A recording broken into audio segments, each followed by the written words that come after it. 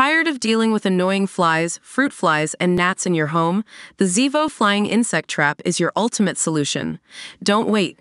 Check out the link in the video description now to get your Zevo Flying Insect Trap on Amazon and enjoy a bug free home today. Get ready, Spoiler Squad, because we're diving into the eerie world of Marvel's upcoming series, Agatha All Along.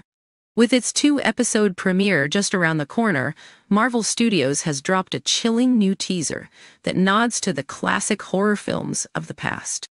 This fresh promo paints a thrilling landscape reminiscent of the days when horror flicks were introduced by ominous narrators.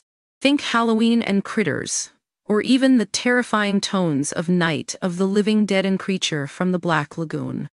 Agatha all along channels this vintage vibe perfectly, inviting suspense while celebrating the legacy of horror storytelling, a familiar touch for fans who've already seen Agatha Harkness in action during WandaVision. In this new series, we follow the titular character, played by Kathryn Hahn, as she seeks to break free from the spell cast upon her by Wanda Maximoff. But there's a twist. To truly unlock her magical prowess, Agatha must navigate a web of intrigue alongside a ragtag group of allies, promising surprises and mysteries that will keep us on the edge of our seats.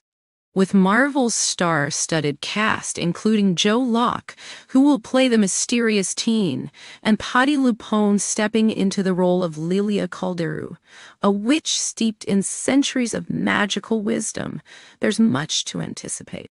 What challenges lie ahead for Agatha? Will she reclaim her powers? Or will new mystical threats arise to complicate her journey?